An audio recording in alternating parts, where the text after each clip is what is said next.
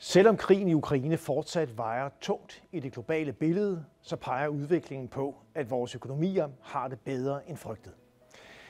I USA og EU viser prognoserne nu forventninger om en lille økonomisk fremgang og altså ikke recession. Der er flere forhold, der trækker i den retning. Energipriserne har vist faldende tendenser, ikke mindst på naturgas. Det er med til at presse inflationen ned, og det støtter købekraften lidt. Kinas genåbning skaber berettigede forventninger om et betydeligt vækstopsving i denne verdens næststørste økonomi. Og det smitter positivt af på den samlede globale økonomi. I USA er arbejdsmarkedet overraskende stærkt.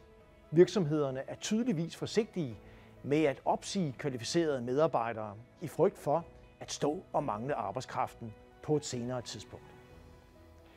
Det globale aktiemarked har allerede kvitteret med pæne stigninger i år. Målt i danske kroner ligger afkastet på ca. 5%. Malurten i bæret er, at renterne er begyndt at stige igen de seneste uger.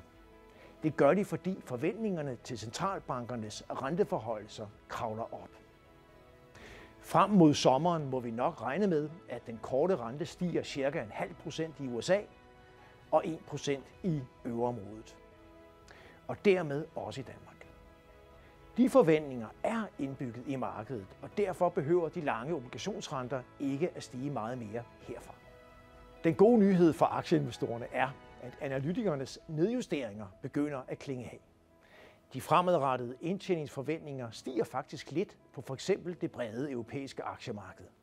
Det danner fundamentet for, at vi på længere sigt kan se nye og højere niveauer på aktiemarkederne.